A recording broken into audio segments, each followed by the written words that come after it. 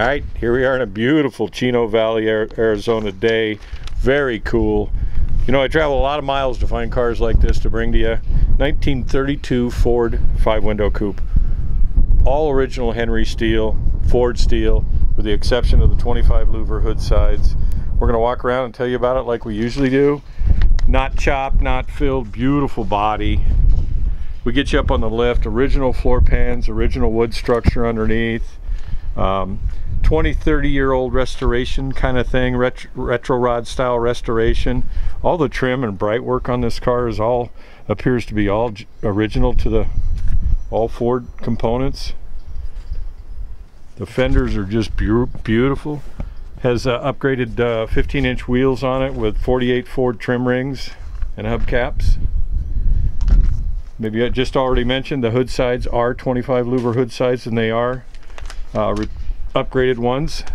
The hood tops here are original Henry, so is the grill shell. Has a factory frame with a VIN number where it belongs. Dropped headlight bar, 33 Ford uh, commercial headlights on it. Original front and rear bumper irons. It's hard to find them all, this stuff like this, but uh, a lot of guys have studied this car when it comes to the steel and stuff, but it's just beautiful.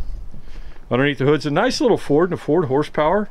Has a 289 66 289 four barrel V8 underneath the hood has a 39 Ford gearbox 46 48 banjo style rear end in the back. Just tastefully upgraded dropped axle up front here disc brake upgrade juice brakes on it. Cowl vent works. I've got a little cheat sheet here so you may hear it ruffling in the wind. A little bit windy here today. Original body fenders bumpers hood top sun visor grill insert, grill and insert, non-original 25 louver hood sides. It's not chopped, not filled. Extremely nice drip rails on this one. You can see the spot welds on them the same way you really want to take a look at those. They haven't been filled over. It tells you what kind of body it was to begin with. The trunk, wait till we get in the trunk, it's just super nice. There's absolutely no evidence of any patch panels on this car and I did not feel any fender bead repairs. Nice chrome garnish moldings in it here. Factory style hardware like we talked about. Has a LeBaron Bonney style interior in it. Upgraded uh, dash, cockpit style dash in it. Stewart Warner gauges. Again, 39 three-speed gearbox, working emergency brake, has a hot rod heater right here. They did install seat belts in it, but it, otherwise it has a original Ford seat in it. Put the vent up here, like that. Nice 36 Ford steering wheel. I'll probably repeat myself when I get over to the driver's side. Cowl vent, the rear window does roll down. I've rolled it down. Look at the, uh, you can see all the brads here where they go in the original wood structure. Obviously a dry climate car.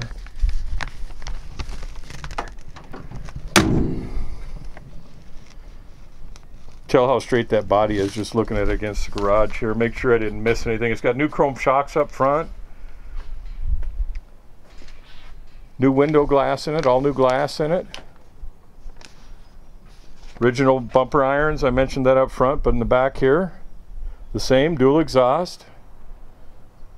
We will open the trunk and spend some time in the trunk with it for you. Has a new battery in the back. The battery's been mounted in the back. Paint on it's probably a single stage on it. You could pick it for a flaw here and there, but the car's just got good character, awesome steel. It's not a perfect finish, but it is a nice finish. She cleans up good. Let's put it that way. But uh, I wouldn't change a thing on this car just the way it is cosmetically. It's a very nice car. Dual Smitty mufflers on it, so it's got a good rapidy wrap to it. Talked about the disc brakes up front. Yeah, you can pick it for a good little marks here. Here's a little where somebody let the hood side hit when they lowered it down. You can find a little bit of check there in the paint. I believe it's an enamel paint.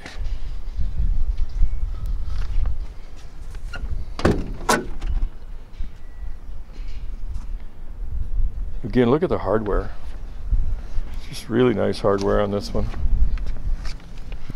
Said I travel a lot of miles to do cars like to find cars like this to do. A lot of guys have been calling me on uh, five window cars and if you're looking for one of the nicest bodies out there I can say this one's probably going to do the trick for you. I like the 36 Banjo. Window cranks out like it's supposed to. Look at these original OEM style sun visors on it, not restored. When was the last time you seen those? Again, the dash is lightly modified with some nice gauges in it. Done cars for this gentleman before. He always has some really nice fun stuff. Three speed.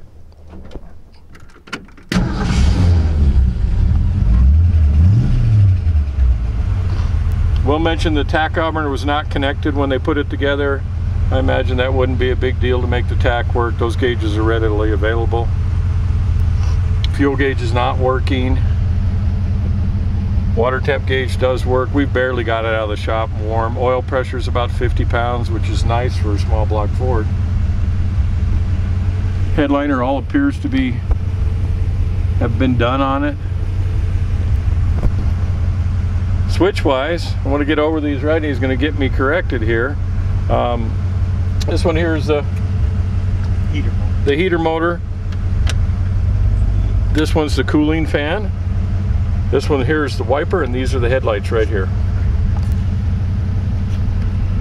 I just went over them with him, but sometimes the older we get, our memory isn't as long as it used to be, especially short term.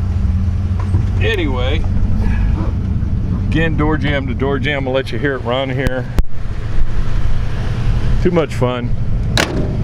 Kind of car, cosmetically, probably just leave this car just the way it is. Factory split bones up front, out back. Very much the kind of car you can drive.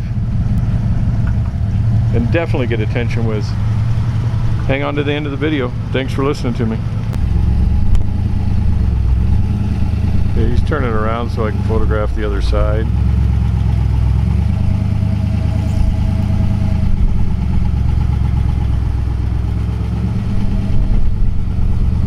Than a Ford sound.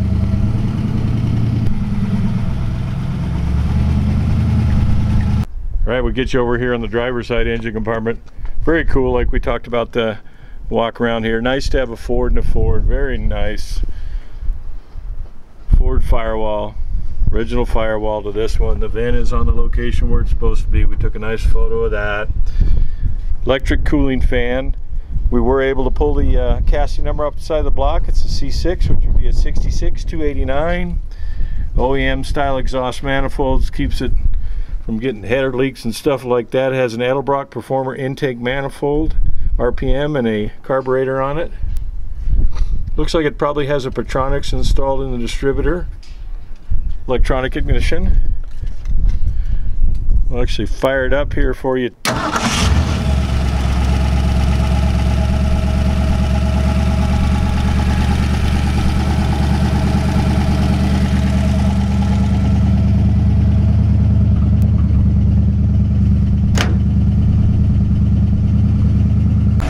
Right, got you over here on the passenger side. My amp alternator over on this side. Again, electric cooling fan uh, has a GM part number for that cooling fan.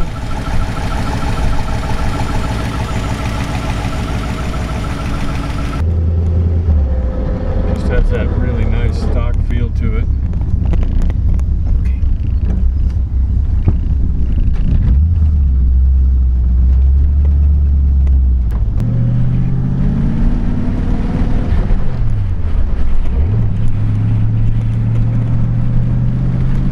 Second gear. Third gear. Piece of cake. All right, it's a little breezy. I want to get you in the trunk here and share the uh, beautiful Ford steel in this one. We've actually already had it up on the lift here, but you kind of get a feel for the uh, metal on this car. Look down in the corners here, there's no peppering or pinholes or nothing. Dry climate kind of car. Get way back into the corner here.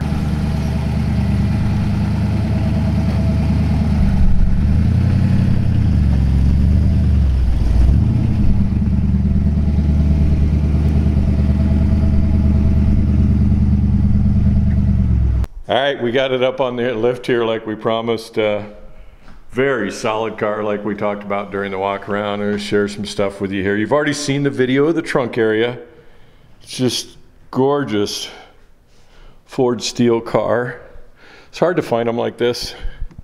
Said that during the walk around.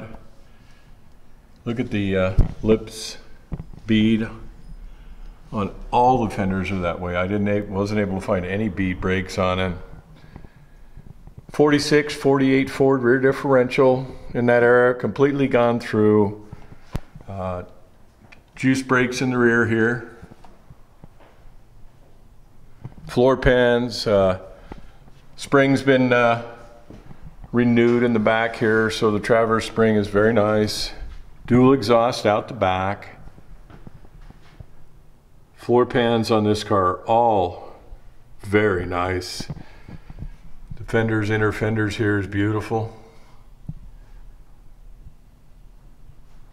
Running boards, all Ford stuff. Battery cables come from the front up there, or batteries back here on it. And up here, there's an updated uh, master cylinder, dual reservoir master cylinder in it. It's been juiced up. Typical uh, period style retro upgrade on it. It's got a 39 Ford transmission. Has a characteristic where on deceleration, if you're on decel, sometimes or occasionally it'll pop out of uh, second gear. All you got to do is hold the shifter forward a little bit. If you're decelling, you'll be just fine. You're used to driving it. Bell housing uh, adapter here to the uh, 289 Ford V8. We did check the casting on this one. It's a C6 casting, which would mean a 66. We get to the fenders here too up front. Beads are just beautiful. SoCal uh, uh, steering stabilizer, split wishbones up front out here. Serviceable with Zerks grease points, dropped axle, little dropout cross member here is a nice little touch. Factory style uh, cast, cast iron exhaust manifolds for the 289 factory style.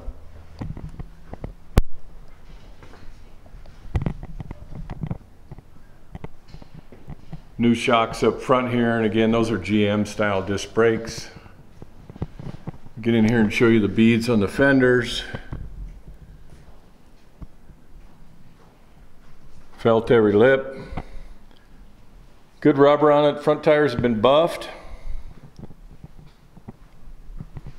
These are OEM bumpers along with the rest of the sheet metal on it, other than the hood sides that we talked about. Take you back through this way so you get another view of it.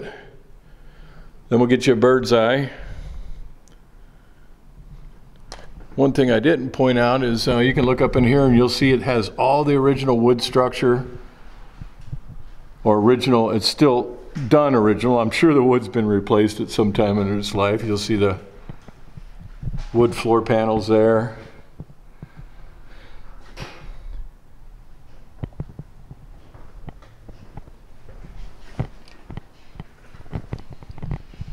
Take you around the outside here and get you through this video.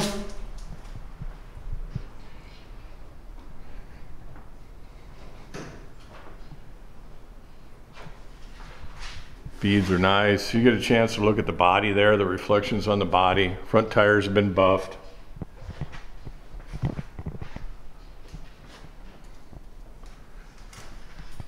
Original grill shell, grill insert, correct color, dove gray.